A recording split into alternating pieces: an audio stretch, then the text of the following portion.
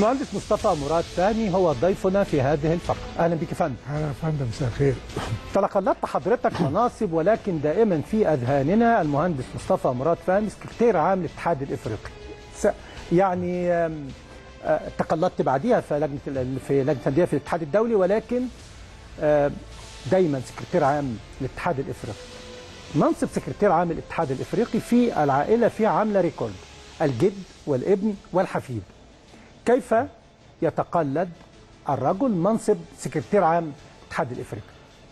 آه، أنا هحكي لحضرتك قصة وكانت آه، آه، يعني حكيتها كنا في جولة في شركة جابكو هيئه البترول وقلت لهم إن ال- المهندس كيماوي اتخرجت سنة 78 من جامعة القاهرة ورحت كشفت طبي في شركة جابكو على أساس ان هشتغل في في الشركة وطبعا أروح في خليج السويس وهشتغل مهندس بترول يعني. وبعدين كان آه، مستر تسمة كان اياميها رئيس الاتحاد الأفريقي وكان مدعو عندنا في البيت وقابلته بالليل بعد ما كشفت يعني. فقال لي كان هو بيتابعني وأنا آه، سني أصغر من كده وأنا في المدرسة وأنا في الجامعة. كنا دايما نتكلم في الكوره كنت بتابع أنا الكورة وب... جدتي كانت بتشتري لي صحيفة آه، France Football الأسبوعية فكنت بتابع يعني وبتناقش معاه و... وهي الأشهر في العالم حتى الآن. هي الأشهر وهي اللي بتعمل جايزة أحسن أحسن لاعب. لاعب. أحسن لاعب وما إلى ذلك. ف يعني آه، قال لي أنت هتعمل إيه؟ قلت له أنا هشتغل بقى في البترول وبتاع. قال لي لا أنت معانا أنت من بكرة تيجي وتشتغل معانا في الاتحاد الأفريقي. وكان آه، والدي كان المفروض هيتقاعد. وبس هم طلبوا إن هو يستمر فعشان إعداد من يخلفه كان الكابتن عبد الوهاب سليم الله يرحمه هو تم اختياره كسكرتير مساعد. وأنا آه، اخترت كمسؤول العامه والاعلام وكنت مسؤول أساسا عن النشرة طورت النشرة بتاعت الاتحاد الأفريقي وكنت بعملها جددتها وكان آه، مرحلة حضرتك دخلت الاتحاد الأفريقي في 78 78 آه، بعد ما اتخرجت على طول آه، بشهرين ثلاثة يعني.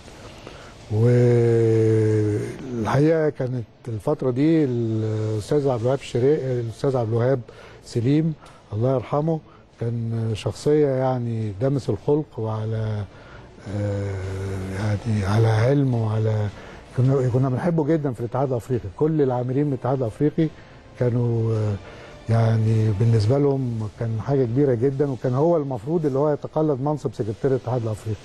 لكن بكل آسف آه، أنتوا عارفين طبعا هو مرض كان عنده آه، مرض ابتدى يشتد عليه وكنا عايزينه إنه يستمر في الاتحاد الأفريقي. فحاول لمدة سنتين إنه يستمر لكن سنة 1980 تقدم باستقالته. لأن كنا عايزين يستمر وقلنا له هنساعدك وهنعمل كل حاجة قال لا أنا لا أقبل إن أحصل على راتب بدون المؤدي المجهود اللي مطلوب مني بدون عمل. وأنا و- بدون عمل وأنا مش قادر ادي المجهود المطلوب مني تمام. هي دي من ودي من ضمن المبادئ والأخلاق بتاعت النادي الأهلي إن اللي يؤدي عمل يحصل على المقابل العمل اللي هو العمل اللي هو بيؤديه ولازم لازم يؤديه ف ابتعد عن الاتحاد الأفريقي. طبعا استمرت علاقتنا لأنه شخصية يعني رائعة. وسنة 82 آه، دخلت السكرتارية. سنة 82 آه، المرحوم مراد فهمي تقاعد واللجنة التنفيذية اختارتني كسكرتير الاتحاد الأفريقي. أعتقد كنت الرابع سنتها. كان أول سكرتير المرحوم يوسف محمد. كان حكم دولي من أشهر حكام المصريين. وبعدين الكابتن مصطفى كامل منصور. كان آه، مدير كورة في النادي الأهلي وكان مدير كان حارس مرمى مصر في الثلاثينات وكان بال- بالمناسبة كان بيلعب مع عمي. كانوا الاثنين هم كنا بنقول إن دايما الأهلي عنده اثنين حراس على مستوى كبير. كانوا هم الاثنين حراس بتوع منتخب ما كان شيرين. منصور معانا امبارح وقالت ال- للمصادفة كان جدها بيلعب مع عم حضرتك. آه. فهو الكابتن مصطفى مصطفى كامل منصور وعزيز فهمي كانوا الاثنين الحراس وهم الاثنين اللي راحوا اوريك قد إيه الأهلي حراس دايما كان عنده على مستوى كبير الاثنين الحراس اللي راحوا كأس العالم في ايطاليا إيطاليا 34 34 وال- والدورة الأولمبية في برلين هم برضو نفس الاثنين اللي راحوا الدورة الأولمبية في برلين سنة 36 مثلوا مصر حضرتك دخولك الاتحاد الأفريقي في السكرتاريه 82 والنادي الأهلي بيحرز أول بطولة دوري أبطال أفريقيا في 82 ما كان كان كان وش حلو عليه بعد بعد أربع أربع أشهر وكان الحقيقة كانت آه، رحلة جميلة كان آه، كوتوكو،. كوتوكو آه، هناك. ولعبنا في كوماسي نعم وكان الكابتن صالح بيرأس البعثة نعم وأتذكر إنه مع ال- الكابتن الخطيب ال- نعم. الأسطورة زي ما بن- بنقول كلنا آه، احرز الهدف ما أحرز يعني هدف بص لي الكابتن صالح وشاورت له حتى تسمى ما كانش مبسوط المفروض أكون محايد لكن في الظروف دي صعب جدا أول مرة آه. الأهلي بيكسب ال- البطولة والهدف ده طبعا إحساس. حضرتك إيه يا فندم والأهلي بيحرز أول بطولة دوري أبطال أفريقيا لا إحساس ما يعني ما ما فيش إحساس آه، يعني يقاربه غير إحساس آه، آه، أبو تريكة لما جاب الهدف في الصفاقسي نعم والهدف في الصفاقسي يعني كان كان شعور يعني طبعا مش قادر إن أنا أعمل أي حاجة في الملعب لأن سكرتير الاتحاد الافريقي فما قدرتش يعني آه، من من كثرة الانفعال دخلت جوه في الصالون جوه وقعدت كملت الماتش في الصالون ما قدرتش أكمل في الملعب. جميل قوي في في أو في الزملاء عاملين حاجة كده مشوار المهندس مصطفى مراد فهمي؟ نراه سويا ثم نعود لحضرتك. شكرا فندم.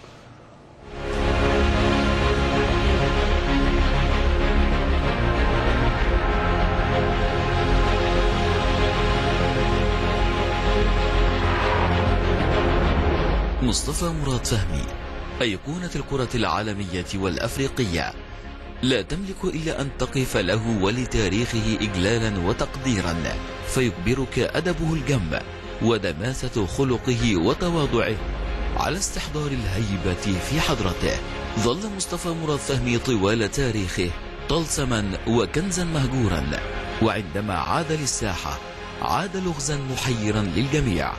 ضرب حوله المنجمون الودع وسأل عنه المشعوذون نجوم الفلك من هو هذا النائب في قائمة محمود طاهر؟ إنه المفاجأة ورمانة الميزان ونقطة التحول في انتخابات الأهلي. مصطفى مراد فهمي السكرتير التاريخي للاتحاد الأفريقي ومدير لجنة المسابقات بالاتحاد الدولي لكرة القدم فيفا. الذي زاد ترشحه لمنصب النائب ضمن قائمة محمود طاهر في انتخابات الأهلي والتي ستجرى في الثلاثين من نوفمبر الجاري سخونة للمعركة الانتخابية. فقد كان بمثابة الضربة القاضية والنقطة الفارقة في مشوار انتخابات القلعة الحمراء وبات أعضاء الجمعية العمومية في حيرة. في الاختيار بينه وبين منافسه العمري فاروق وزير الرياضة السابق والمرشح لنفس المنصب ضمن قائمة الخطيب مصطفى مراد فهمي. يمتلك سيرة ذاتية تدفع أي عضو للتفكير ألف مرة في حسم اختيار النائب. فقد شغل منصب سكرتير الكاف على مدار 28 عاما وعضوا بالمكتب التنفيذي لفيفا خلال حقبة التسعينات. ويعد فهمي هو أول مصري يتولى منصب مدير المسابقات بفيفا مما أكسبه علاقات دولية وخبرات إدارية غير مسبوقة ولكن بات غيابه عن القلعة الحمراء في السنوات الأخيرة الماضية ليدفع معارضيه للتشكيك في قدرته الإدارية الكبيرة. في وقت كان نفس هؤلاء الأشخاص يتباه يتباهون ويتفاخرون بقيادته للمناصب الدولية واحدا بعد الآخر. إنه مصطفى مراد فهمي أيقونة الكرة العالمية والأفريقية.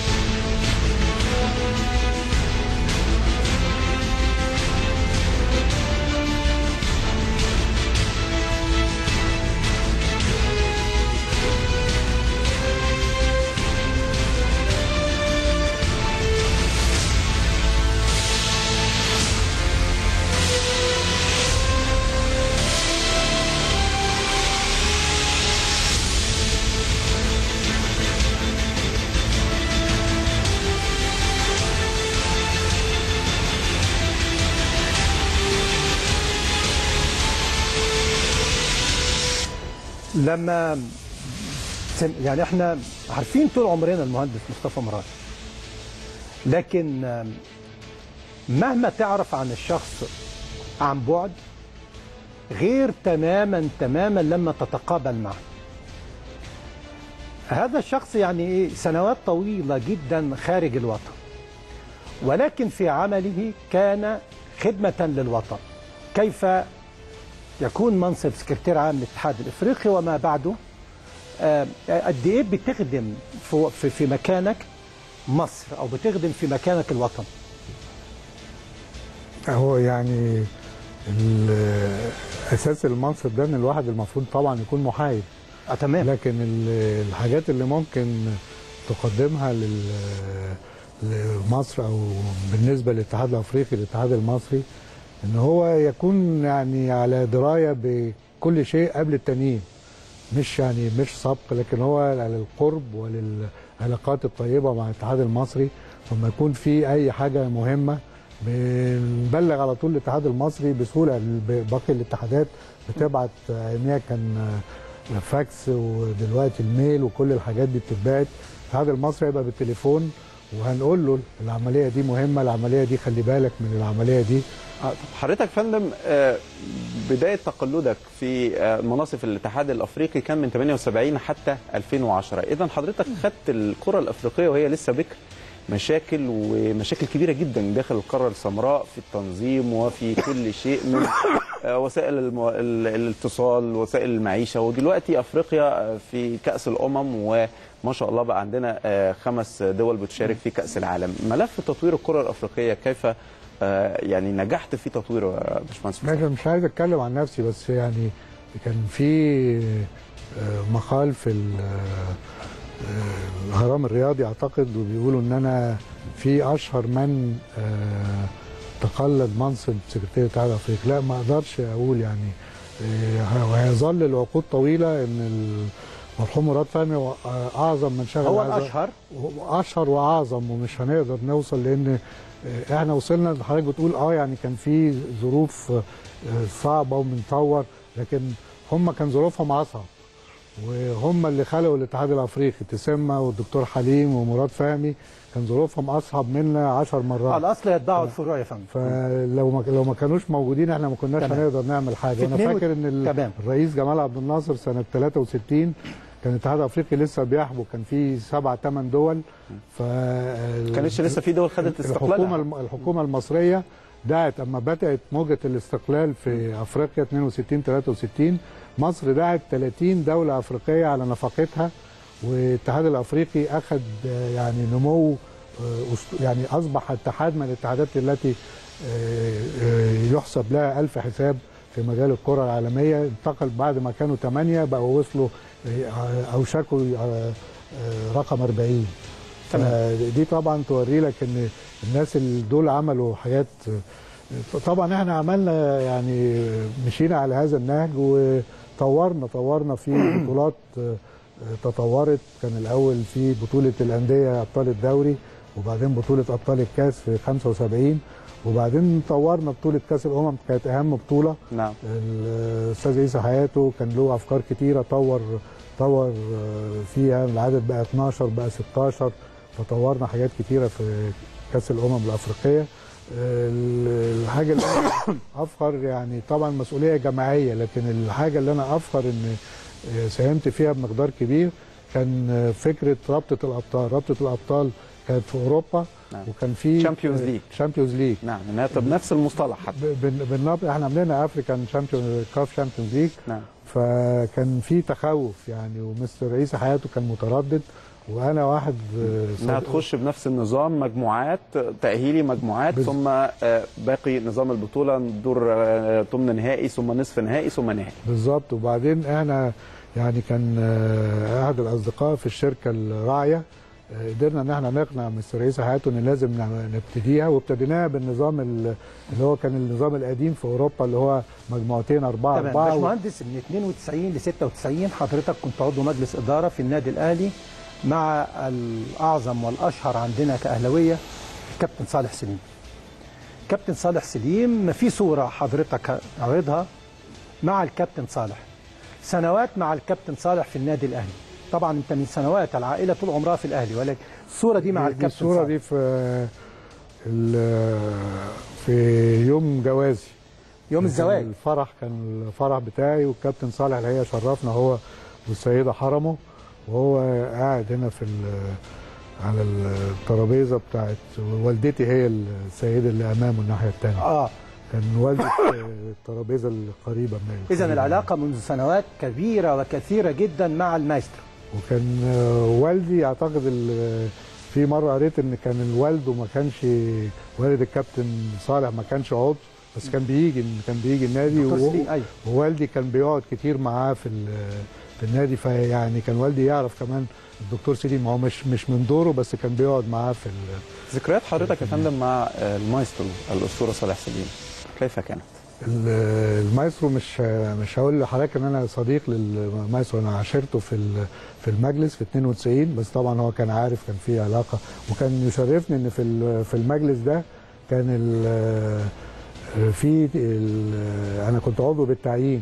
آه. والتعيين كان بيتم إزاي؟ كان بيتم أعضاء المجلس المنتخبين بكل واحد بيعرض بعض الأسماء وبعدين بيصوتوا عليهم. فالتصويت جاء المستشار عبد المجيد محمود بعدين المستشار محمود فهمي و- وأنا. والكابتن مش والكابتن؟ الخطيب كان من المرشحين بس جاب أصوات أقل منا في الم- في المجلس ده. كان اثنين معينين؟ كانوا ثلاثة معينين. ثلاثة معينين. سيادتك والمستشار عبد المجيد محمود والمستشار محمود فهمي. سيادتك. تمام. ده كان 92 ل 96 96 وال... يعني كانت تجربة جميلة مع الكابتن صالح لأن اتعلمنا منه برضو ال- الفن فن القيادة. القيادة مش بس هو طبعا كان قائد في الملعب وكان قائد برضو في مجلس الإدارة كان هو اللي بيوجه وبالبوصله زي ما بيقولوا بتاعت ال- المجلس بيوجهنا. وكان المجلس فيه طبعا قامات برضو الكابتن حسن حمدي الأستاذ إبراهيم المعلم والدكتور حسام بدراوي وزي ما قلنا المستشار عبد المجيد محمود واللواء سفير نور. كان مجلس آه، كان أمين الصندوق رحمة الله عليه محمد عبده لو محمد بيه عبده ما كان قبليها كان 88 92 آه وجا بعدين تاني. ورح فيه فترة وبعدين رجع. ال- الكابتن حسن كان هو النايب بس مش متذكر مين كان أمين الصندوق في الفترة دي. تمام. آه، باشمهندس آه، عائلة فهمي. آه، ما شاء الله ممتدة داخل آه، النادي الأهلي. يعني حضرتك ووالدك وعم يعني ما شاء الله العائلة ممتدة تاريخيا وعلاقة تاريخية بالنادي الأهلي. ما أنا هقول لحضرتك كمان قصة ظريفة أظرف من. بالنسبة للعائله اللي هو ليه يعني اتجهوا ناحية الرياضة لأن أنا جدي آه، آه، محمود فهمي حسين المحامي كان من أقطاب الحزب الوطني مش الحزب الوطني القديم. الحزب الوطني بتاع زعيم محمد مصطفى كامل ومحمد. فريد تمام وفي فتره من الفترات كان بيشغل منصب سكرتير الحزب الوطني لكن. آه. الفترة دي كان الصدام شديد جدا مع الاستعمار الإنجليزي وأنت عارف حضرتك الحزب الوطني كان الهدف الأساسي هو اللي بيحارب مع. الإنجليزي وكان الخديوي عباس حلمي كان بيسانده. آه طبعا. ف كان في تضييق من الاستعمار من الإنجليز على الحزب وعايزين إن هم يسيطروا على الحزب عشان يبطلوا آه، مقاومته للاحتلال الإنجليزي. فهو فضل إن فكانت فترة صعبة لجدي فحاول إن هو يبعد الأولاد عن ال- سياسة؟ عن السياسة فوجههم ناحية الرياضة. كان عمل إيه؟ كان في في الزيتون هم كانوا عايشين في الزيتون وكان في آه، بيوت بعض العائلات عيلة الشريعي وكذا عيلة. فكان بيجمع في كل نهاية الأسبوع أولاد ال- العائلات. العائلات ويعمل لهم مسابقات رياضية مش بس في الكورة في المصارعة في الجري في في حاجات كتير. فمن هنا نشأ حبهم لكرة القدم. وكان في ابن خالتهم اسمه يوسف وهبي. لو حضرتك تشوف في آه. فريق النادي الأهلي في أنا- 1917 و18 أنا بلاقي في الصورة بيبقى مكتوب الاسم. كان الظهير الأيمن بتاع فريق حجازي آه. وبعدين الكابتن حجازي ساب النادي الأهلي وشكل فريق نجوم القاهرة. وما شكل نجوم القاهرة في بعض لاعبي الأهلي تركوا الأهلي. لكن يوسف وهبي فضل وظهر جيل جديد من الناشئين. والجيل الجديد الناشئين ده أعتقد إن لم تخن الذاكرة كان في كابتن مختار التتش ابتدى يظهر نعم. وكسبوا حجازي 3-0 نعم. كسبوا فريق نجوم القا- القاهرة نعم. وانتهى فريق نجوم القاهرة واضطر حسين حجازي إنه يقفل يعني ينهي فرقة نجوم القاهرة وانتقل إلى نادي الزمالك لأنه ما قدرش يرجع تاني النادي الأهلي فهم من سنة 26 بعد كده آه، ولاد آه، آه، كان هو ابن خالتهم فهم راحوا بعد كده انتقلوا من نادي الزيتون كانوا بيلعبوا في نادي الزيتون كان من أندية الدرجة الثانية انتقلوا للنادي الأهلي في سنة 26 وكانوا ثلاث إخوات محمد فهمي كان الأكبر وعزيز فهمي وبعدين مراد فهمي كان الأصغر ومراد ومحمد فهمي اعتزل مبكرا وأصبح مدير مدير الكورة تمام. وتوفى هو مدير كورة للنادي الأهلي. زي الكابتن ثابت البطل كده. يا فندم حضرتك بهذا الأمر يعني تربيت جوه النادي الأهلي. أنا تقريبا مولود جوه النادي الأهلي وفاكر إن يعني والدتي حكت لي إن أنا مرة وأنا عمري ثلاث سنين كنت في الباب اللي هو على النيل فما خدوش بالهم مني شوية وبعدين اختفيت. فلاقوني من الباب الثاني اللي هو ناحية معلمين. ناحية المعلمين وكان ال- البواب مش متذكر اسمه دلوقتي هو اللي لقاني وفضل مخليني معاه لغاية ما ما لاقوني وعندي صور كتير يعني مع ال- تمام. باشمهندس سنوات طويلة العمل خارج مصر. مش طويلة قوي هم ست سنين بس لا لا. يعني سفر وحضرتك كنت سفريات كثيرة جدا. أنا فاكر مرة من المرات مش عارف قابلت سيادتك في إحدى الدورات الأولمبية بس أنا مش متذكرها. مش فاكر لندن ولا بكين ولا يعني آه، لا بيجي- بيجي مناطق يمكن يبقى. برشلونة لا ممكن آه، بس. بس لندن دي مؤخرا كنت في الاتحاد الدولي آه، 2012 يعني أنا متذكر بس أنا يمكن خانتني الذاكرة. بعد بعد كده لماذا؟ أو يعني أو الدعوة اللي توجهت إزاي لحضرتك؟ للدخول في انتخابات مع قائمة الكابتن المهندس محمود طاهر نائبا للرئيس. هو المهندس محمود طاهر يعني اتصل بيا وقال لي إن هو في قائمة والقائمة هتكون فيها كلها قامات وكل واحد عنده ملف مخصوص. يعني في يعني برنامج عمل آه، هيكون لكل شخص في هذه القائمة وكلها قامات في مجالات في مجالات عملهم كلهم. فشجعني لأن هو أساسا آه، يعني في الفترة اللي هو تولى فيها رئاسه النادي الأهلي نجح فقلت له ما- هل تواصلت قائمة أخرى مع حضرتك؟ ما أنا حكينا القصة إن ال- آه، الكابتن عادل قيه والكابتن الخطيب اتصلوا بيا وطلبوا مني الانضمام للقائمة فأنا اعتذرت قلت لهم أنا يعني هفكر وطلبوا مني يعني انضم قلت لهم أنا هفكر لكن ما أقدرش بعد ما اتفقت مع المهندس محمود طاهر ان فاضل يومين على الانتخابات.